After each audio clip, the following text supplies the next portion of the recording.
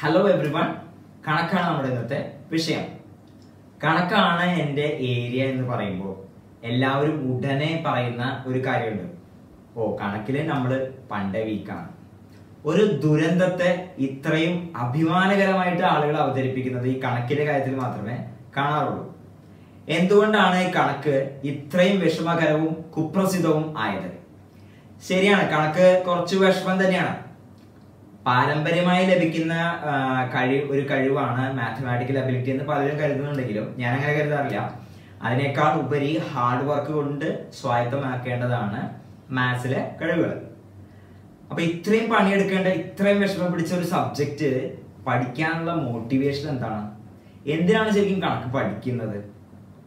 അപ്പൊ നിങ്ങളിത് കേട്ടുകൊണ്ടിരിക്കുമ്പോൾ ലോകത്തിന്റെ ഏതൊരു കോണിൽ ഒരു ഏതെങ്കിലും ഒരു ഓൺലൈൻ ക്ലാസ്സിൽ നിന്ന് ഏതെങ്കിലും ഒരു കുട്ടി ഇതേ ചോദ്യം സ്വന്തം കണക്ക് ടീച്ചറെടുത്ത് ചോദിക്കുന്നുണ്ടാവും. കാരണം എന്താണെന്ന് അറിയോ കഴിഞ്ഞ ഒഴിവ് കിട്ടിയ കഴിഞ്ഞ ഞായറാഴ്ച മുഴുവൻ അവന്റെ തീർന്നു പോയത് എന്താണ്? മാത്സ് ഹോംവർക്ക് ചെയ്തിട്ടായിരുന്നു അപ്പൊ ഇനി ആ കുട്ടിക്ക് ടീച്ചർ കൊടുക്കാൻ പോകുന്ന മറുപടി എന്തായിരിക്കും? കണക്ക് പഠിച്ചാലേ നിനക്ക് എഞ്ചിനീയർ ആവാൻ പറ്റുള്ളൂ. അല്ലെങ്കിൽ കണക്ക് പഠിച്ചാലേ നിനക്ക് എന്താവാൻ പറ്റുള്ളൂ? സി എ ആവാൻ പറ്റുള്ളൂ. അല്ലെങ്കിൽ കണക്ക് പഠിച്ചാലേ നിനക്ക് എന്താവുള്ളൂ? റോക്കറ്റ് സയന്റിസ്റ്റ് ആവാൻ പറ്റുള്ളൂ. പലപ്പോഴും ഈ മറുപടി എന്ന് പറയുന്നത് പൊള്ളത്തരാണ്. ഈ ചെയ്യുന്ന എ പ്ലസ് ബി ഹോൾ സ്ക്വയറും ക്വാഡ്രാറ്റിക് ഇക്വേഷനും സൈൻ തീറ്റയും കോസ് തീറ്റയും പിന്നീട് എവിടെയാണ് ഉപയോഗം വരുന്നതെന്ന് എത്ര ആലോചിച്ചിട്ടും കുട്ടിക്ക് മനസ്സിലാവില്ല. എത്ര ആലോചിച്ചാലും കുട്ടിക്ക് അത് പിടികിട്ടില്ല. അല്ലെങ്കിൽ കുട്ടിയെ കൃത്യമായിട്ട് പറഞ്ഞ് മനസ്സിലാക്കാൻ പലപ്പോഴും അധ്യാപകന് കഴിയാറില്ല. അപ്പോൾ ആ അധ്യാപകൻ കൊടുക്കുന്ന റീസൺ അതിന്റെ usefulness is not always convincing enough അപ്പൊ ഇവിടെ തുടങ്ങുന്ന പ്രശ്നങ്ങൾ. ഈ കരിയർ ഓറിയന്റഡ് ജസ്റ്റിഫിക്കേഷൻ അഥവാ പിന്നീട് ആവശ്യം വരും എന്ന ഈ പൊള്ളയായ വാദം തന്നെയാണ് ഇതിൽ ഏറ്റവും പ്രശ്നക്കാരൻ.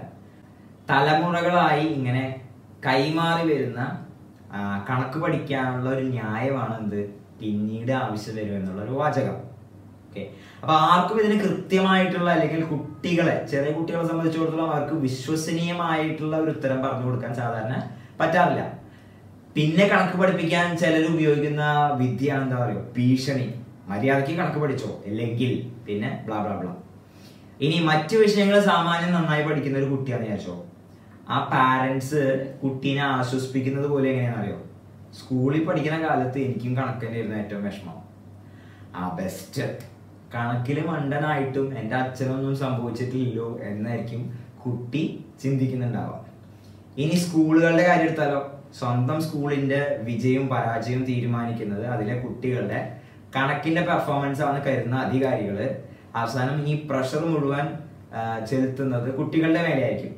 പിന്നെ സ്പെഷ്യൽ ക്ലാസ്സുകളായി സിലബസിനെ കുറ്റം പറയലായി ടെക്സ്റ്റ് ബുക്കിനെ കുറ്റം പറയലായി പഠിപ്പിക്കുന്ന ടീച്ചേഴ്സിനെ കുറ്റം പറയലായി അങ്ങനെ പോകുന്ന അടുത്ത കാര്യങ്ങൾ. ഇനി ഗവൺമെന്റ് ഒഫീഷ്യൽസിന്റെ കാര്യം എടുത്താലോ? ഗവൺമെന്റിന്റെ കാര്യം എടുത്താലോ? കണക്ക് പരീക്ഷ മോശമായി വിചാരിച്ചോ? പിന്നെ ജനരോ ജനരോക്ഷം മുഴുവൻ ഏറ്റുവാങ്ങേണ്ടത് വാങ്ങണം എന്നുള്ളത് കൊണ്ട് പലപ്പോഴും വേണ്ടത്ര നിലവാരമുള്ള പരീക്ഷകൾ പലപ്പോഴും നടത്താറില്ല. അങ്ങനെ പരീക്ഷയ്ക്ക് വരാവുന്ന ചോദ്യങ്ങൾ കാണാതെ പഠിച്ച് പരീക്ഷയ്ക്ക് വരാവുന്ന ചോദ്യങ്ങൾ തന്നെ പഠിപ്പിച്ച് ആ ടൈപ്പ് ക്വസ്റ്റ്യൻസ് തന്നെ പഠിപ്പിച്ച് പരീക്ഷ ചോദിക്കുന്ന ആളുകളോ അതേപോലത്തെ ക്വസ്റ്റ്യൻസ് തന്നെ ചോദിച്ച് തികച്ചും മെക്കാനിക്കൽ ആയിട്ടുള്ള ഒരു പ്രോസസ്സിൽ കൂടെയാണ് ഈ നമ്മുടെ മാത്സ് എഡ്യൂക്കേഷൻ കടന്നു പോകുന്നത് അപ്പൊ ഈ മെമ്മറൈസ് റീപ്രൊഡ്യൂസ് ഫോർഗെറ്റ് എന്ന സൈക്കിളിൽ കൂടെയാണ് നമ്മുടെ ഈ നമ്മുടെ കുട്ടികൾ വർഷങ്ങളായിട്ട് കടന്നു പോണത്. ശരിക്കും ആസ്വദിച്ച് പഠിച്ച് മനസ്സിലാക്കുന്നതിന് പകരം പേടിച്ച് പേടിച്ച് പേടിച്ച് കുറെ വർഷങ്ങൾ. ഇനി ചെറിയൊരു മൈനോറിറ്റി ചുരുക്കം ചിലരെ നിങ്ങൾ ശ്രദ്ധിച്ചിട്ടുണ്ടോ? അവർക്ക് കണക്ക് വളരെ എളുപ്പമായിരിക്കും. പ്രത്യേകിച്ച് കരിയർ സ്വപ്നങ്ങൾ ഇല്ലെങ്കിൽ പോലും അവർ വളരെ ആവേശത്തോടെ ഇന്ന് മാത്സ് പ്രോബ്ലംസ് ചെയ്യുന്ന കാണാം. ദേ ജസ്റ്റ് ഗെറ്റ് ഇറ്റ് ഏറ്റവും ആസ്വാദ്യകരമായ ബൈഹാർട്ട് ചെയ്യാനൊന്നും ഇല്ലാത്ത ഏറ്റവും എളുപ്പമുള്ള വിഷയമായിരിക്കും അവർക്ക് കണക്ക്. അത് മാത്രമല്ല ഒരുപാട് സാധ്യതകൾ ഭാവിയിൽ ശരിക്കും അവരെ കാത്തിരിക്കുന്നുണ്ട്. അപ്പൊ ആദ്യം പറഞ്ഞ മെജോറിറ്റിയും പിന്നീട് പറഞ്ഞ മൈനോറിറ്റി ഉണ്ടല്ലോ. അവർ തമ്മിലുള്ള വ്യത്യാസം എന്താണ്? പ്രത്യേകിച്ച് രണ്ട് കൂട്ടരും ഒരേ ബുദ്ധിശക്തിയുള്ള കുട്ടികളാണെന്ന് ഇരിക്കെ. ഇവർ തമ്മിലുള്ള വ്യത്യാസം എന്താണ്? അവിടെയാണ് മാത്തമാറ്റിക്സിനെ അപ്രോച്ച് ചെയ്യുന്നുള്ള വ്യത്യാസം. അപ്പൊ ആദ്യം നമുക്ക് മാത്സ് പഠനം കൊണ്ട് നടക്കേണ്ട ഉദ്ദേശം എന്താണെന്നൊന്ന് നോക്കാം. നമ്മുടെ ചിന്താശേഷിയുടെ ട്രെയിനിങ് ആണ് സത്യം പറഞ്ഞ മാത്തമാറ്റിക്സ് എഡ്യൂക്കേഷന്റെ ലക്ഷ്യം. ഇപ്പൊ ചിന്താശേഷിയിൽ വളരെ പ്രധാനപ്പെട്ട ഒരു സാധനമാണ് അബ്സ്ട്രാക്ട് തിങ്കിങ് നമ്മുടെ ചുറ്റുള്ള വേൾഡും അതിലെ വസ്തുക്കളും അതിലെ സംഭവങ്ങളൊക്കെ ശ്രദ്ധ കേന്ദ്രീകരിക്കുന്നതിനെയാണ് നമ്മൾ കോൺക്രീറ്റ് തിങ്കിങ് എന്ന് പറയുന്നത്. ഇപ്പൊ മിക്കവാറും മൃഗങ്ങളൊക്കെ ചിന്തിക്കുന്ന അങ്ങനെയായിരിക്കും. ഇപ്പൊ ഉദാഹരണത്തിന് മൃഗത്തിന്റെ മുന്നിൽ ഒരു വസ്തു ഉണ്ടെങ്കിൽ ആ വസ്തു ഉള്ളിടത്തോളം കാലം അത് അതിനെ കുറിച്ച് ചിന്തിക്കുള്ളൂ.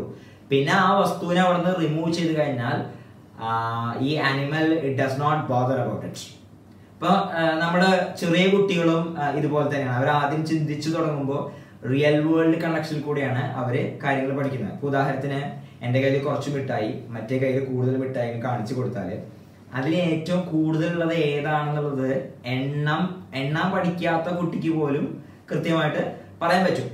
ഓക്കെ അവയെ താരതമ്യം ചെയ്യാൻ പറ്റും. എന്നാൽ നമ്പറുകൾ എന്ന സൂത്രവിദ്യ പഠിച്ചു കഴിഞ്ഞാൽ മിഠായികൾ ഇല്ലാതെ തന്നെ അവയെ താരതമ്യം ചെയ്യാൻ കുട്ടികൾക്ക് കഴിയും. അപ്പൊ ഇവിടെ എണ്ണൽ സംഖ്യകൾ എന്ന് പറഞ്ഞ ഒരു കോൺസെപ്റ്റ് ഉണ്ടല്ലോ. അതൊരു അബ്സ്ട്രാക്റ്റ് ആയിട്ടുള്ള ഒരു കാര്യമാണ്. അതൊരു വസ്തുവല്ല അതൊരു ഐഡിയ ആണ്. ഇപ്പൊ മിഠായി മാത്രല്ല കാർ ആയിക്കോട്ടെ കസേരയായിട്ട് എന്ത് വേണമെങ്കിലും ഈ ഐഡിയ കൊണ്ട് നമുക്ക് എന്ത് ചെയ്യാം? എണ്ണാൻ പറ്റും. എന്നാൽ ഈ സൂത്രത്തിന്റെ മേലെ നമുക്ക് യാതൊരു കൺട്രോളും ഇല്ല. ഇത് എങ്ങനെയാണ് ബിഹേവ് ചെയ്യുന്നത് എന്ന് അത് തന്നെയാണ് തീരുമാനിക്കുന്നത്. അത് നമുക്ക് മാറ്റാൻ പറ്റില്ല. ഉദാഹരണത്തിന് മിഠായികൾ ഇല്ലാതെ തന്നെ രണ്ടും മൂന്നും കൂട്ടിയാൽ അഞ്ചാണെന്നുള്ളത് നമുക്ക് പതുക്കെ പതുക്കെ മനസ്സിലാവും. അതുപോലെ തന്നെ ടു പ്ലസ് ത്രീ തന്നെയാണ് എന്ത്? ത്രീ പ്ലസ് ടു എന്നുള്ളതും എന്നുള്ള മനോഹരമായിട്ടുള്ള ഒരു തത്വം നമുക്ക് മിഠായികളുടെ സഹായം ഇല്ലാതെ നമുക്ക് പിടികിട്ടും. അപ്പോൾ ഇത് മാറ്റിമറിക്കാൻ സാധിക്കില്ല. അപ്പൊ ഇതാണ് അബ്സ്ട്രാക്ട് തിങ്കിങ് ഇനി പതുക്കെ നമുക്ക് എന്ത് ചെയ്യാൻ പറ്റും? നമ്മുടെ എണ്ണൽ സംഖ്യകളെ നമുക്ക് നെഗറ്റീവ് നമ്പറുകളിലേക്കും ഫ്രാക്ഷനുകളിലേക്കും ഒക്കെ എന്ത് ചെയ്യാൻ പറ്റും? ജനറലൈസ് ചെയ്യാൻ പറ്റും. പിന്നെ അതോടൊപ്പം തന്നെ അതിന്റെ സവിശേഷതകൾ അതിന്റെ പ്രോപ്പർട്ടീസും കാര്യങ്ങളെല്ലാം നമ്മൾ പഠിക്കും. അതിന്റെ ഓപ്പറേഷൻസ് കാര്യങ്ങളെല്ലാം പഠിക്കും. അപ്പൊ ഇങ്ങനെ നമ്മുടെ ജീവിതം എളുപ്പമാക്കാൻ വേണ്ടിയിട്ട് നമ്മൾ കണ്ടുപിടിച്ചുള്ള കുറെ സൂത്രവിദ്യകൾ നമ്മൾ ഇൻവെന്റ് ചെയ്തുള്ള കുറെ ട്രിക്കുകൾ നമ്മുടെ ഷോർട്ട് കട്ടുകൾ അതോടൊപ്പം തന്നെ ഇത് നമ്മൾ ഈ ട്രിക്കുകൾ അല്ലെങ്കിൽ ഈ ഷോർട്ട് കട്ടുകൾ നമ്മൾ കണ്ടുപിടിക്കുമ്പോൾ തന്നെ അതുമായി അസോസിയേറ്റ് ചെയ്തുള്ള കുറെ പ്രോപ്പർട്ടീസ് ഉണ്ട്. നമ്മൾ അത് ഡിസ്കവർ ചെയ്യുന്നു. അപ്പൊ ഇത് രണ്ടും കൂടി ചേർന്നാണ് മാത്തമാറ്റിക്സ് ഓക്കെ അപ്പോൾ വഴിയെ നമ്മൾ അബ്സ്ട്രാക്ട് തിങ്കിങ് എന്നുള്ള ഒരു കാര്യം കൂടി എന്താവും? അതിൽ പഠിച്ചെടുക്കും. അപ്പൊ പറഞ്ഞു വരുന്നതെന്ന് വെച്ചാൽ നമ്മൾ അറിഞ്ഞോ അറിയാതൊക്കെ മാത്സ് എല്ലായിടത്തും ഉപയോഗിക്കുന്നുണ്ട്. രണ്ടാമത്തെ കാര്യം എന്ന് പറഞ്ഞാൽ അറിയാം നമ്മളൊരു ഭാഷ ഭാഷ പോലെ നമ്മുടെ ചുറ്റുമുള്ള കാര്യങ്ങളെ മനസ്സിലാക്കാൻ ഉപയോഗിക്കുന്ന ഒരു ലാംഗ്വേജ് ആണ് മാത്തമാറ്റിക്സ് അപ്പൊ മാത്തമാറ്റിക്സ് എഡ്യൂക്കേഷൻ കൊണ്ട് എന്താ ഉദ്ദേശിക്കുന്നത് എന്നുള്ളത് നമുക്കിപ്പോൾ പിടികിട്ടി അല്ലേ? നമ്മുടെ ചിന്താശക്തിയുടെ ചിന്താശേഷിയുടെ പ്രത്യേകിച്ച് അബ്സ്ട്രാക്ട് തിങ്കിങ് ഡെവലപ്പ് ചെയ്യാനുള്ള ട്രെയിനിങ് ആണ് ഗണിത പഠനം എന്ന് ഉദ്ദേശിക്കുന്നത്. അതോടൊപ്പം തന്നെ critical thinking problem solving skill തുടങ്ങിയൊക്കെ നമുക്ക് ഇതിൽ കൂടെ എന്ത് ചെയ്യാൻ പറ്റും? നേടിയെടുക്കാൻ പറ്റും. അപ്പൊ നിങ്ങൾ കഴിക്കാൻ ഇത്രയും പ്രാക്ടീസ് ഒക്കെ ചെയ്യേണ്ട കാര്യമുണ്ടോ ഇത്? അപ്പൊ അതൊരു ഒരു ഉദാഹരണത്തിൽ കൂടെ ഞാൻ മനസ്സിലാക്കി തരാം. നിങ്ങൾക്ക് ഫുട്ബോൾ കളിക്കാൻ ഇഷ്ടമല്ലേ അപ്പൊ നിങ്ങളൊരു പ്രൊഫഷണൽ ഫുട്ബോളർ പ്രാക്ടീസ് ചെയ്യുന്നത് കണ്ടിട്ടുണ്ടോ? പല ജാതി എക്സസൈസുകളും ട്രാഫിക് കോണുകളിൽ കൂടെ സിഗ്സാഗുകളിൽ മറ്റും. ഒറ്റ നോട്ടത്തിൽ ഇതിന് ഫുട്ബോളായിട്ട് യാതൊരു ബന്ധമില്ല എന്നാൽ ഈ പറഞ്ഞ ബോറിംഗ് ആയിട്ടുള്ള എക്സസൈസിൽ കൂടെ അവർ ഒരുപാട് കാര്യങ്ങൾ നേടിയെടുക്കുന്നുണ്ട്. എന്താണ് muscle strength speed insight flexibility തുടങ്ങിയ കാര്യങ്ങളൊക്കെ. അപ്പോൾ ഇതൊക്കെ ശരിക്കും ഫുട്ബോൾ പഠിച്ചെടുക്കുന്നതിന്റെ ഒരു ഭാഗം തന്നെയാണ്. അപ്പോൾ ഒരു പ്രൊഫഷണൽ ഫുട്ബോളറായിട്ട് നിങ്ങൾക്ക് മാറണമെങ്കിൽ വർഷങ്ങളോളം നിങ്ങൾ നിങ്ങളുടെ ഒഴിവ് സമയങ്ങൾ നേരത്തെ പറഞ്ഞ ഹോംവർക്ക് ചെയ്യാൻ മാത്സിൽ ഉപയോഗിച്ചെന്ന് പറഞ്ഞ ഞായറാഴ്ചകൾ നിങ്ങൾ അതിനു വേണ്ടി മാറ്റി വെക്കണം അതേപോലെ തന്നെയാണ് മാത്തമാറ്റിക്സ് ധാരാളം പ്രാക്ടീസ് ആവശ്യമുള്ള ഒരു കാര്യമാണ്. അപ്പോൾ ഒരു ചെറിയൊരു തെറ്റ് പോലും നിങ്ങളുടെ ഉത്തരത്തെ കംപ്ലീറ്റ് മാറ്റി മറിക്കും ഒരു എക്സാമ്പിൾ പറഞ്ഞാൽ ഞാൻ M A T H A M A T I C S എന്ന് എഴുതിയാൽ അതിലെ തെറ്റെന്താണെന്ന് നിങ്ങൾക്ക് പെട്ടെന്ന് മനസ്സിലാവും. എന്നാൽ മാത്സിൽ ഒരക്കം മാറിപ്പോയി. അല്ലെങ്കിൽ പ്ലസ് മാറി മൈനസ് ആയി മാറി വിചാരിച്ചോ. അതിലെ തെറ്റെന്താണ് എവിടെയാ തെറ്റ് പറ്റി ഏത് സ്റ്റെപ്പിലാണ് തെറ്റ് പറ്റിയെന്ന് കണ്ടുപിടിക്കാന്നാണ് അത്ര എളുപ്പമൊന്നുള്ള കാര്യമല്ല.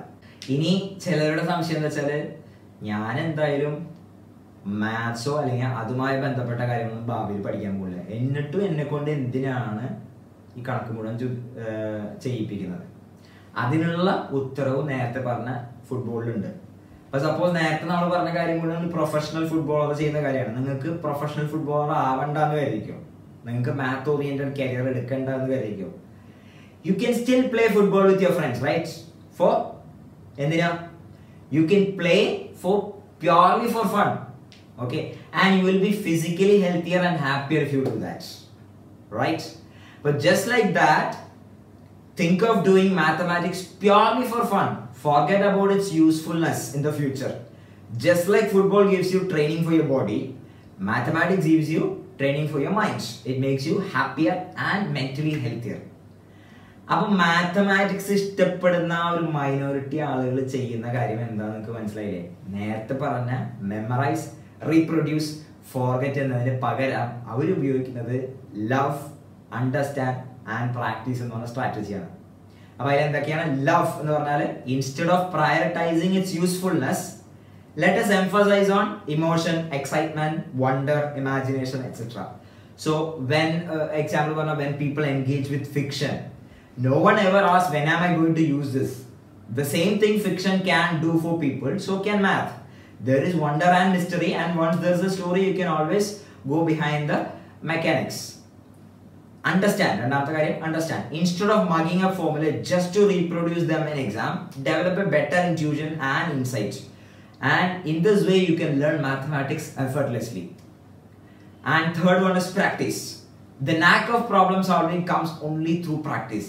and to minimize the tendency of making mistakes you have to practice a lot അപ്പൊ മാത്തമാറ്റിക്സ് പഠിക്കുന്നതിന്റെ ഉപയോഗം തീർച്ചയായും ഒരുപാട് ഉപയോഗങ്ങളുണ്ട് അത് പറയാൻ ഒരു വീഡിയോ തികയില്ല. അത് നമുക്ക് പിന്നീട് മറ്റൊരു വീഡിയോ ഡിസ്കസ് ചെയ്യാം. So let's jump into our course directly